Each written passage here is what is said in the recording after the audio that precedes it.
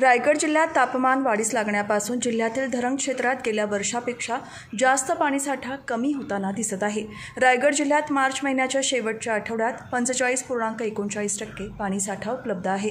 तर गेल्या वर्षी मार्च दोन हजार तेवीसच्या महिन्याच्या शेवटच्या आठवड्यात बासष्ट पूर्णांक साठ टक्के पाणीसाठा उपलब्ध होता. रायगड जिल्ह्यातील सुधागड तालुक्यातील ढोकशेत धरण क्षेत्रात सर्वात कमी सोळा टक्के पाणीसाठा उपलब्ध आहे.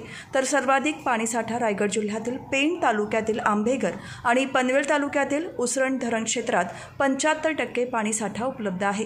या वर्षातील उन्हाळ्याचे अजूनही दोन महिने शिल्लक आहे. पाणी कमी होण्याचा वेग पाहता पाण्याची जतन करण्याची आवश्यकता आहे. अजूनही पावसाळा सुरू होण्यास किमान अडीच महिने शिल्लक असल्यामुळे पाणी जपून वापरण्याची आवश्यकता आहे.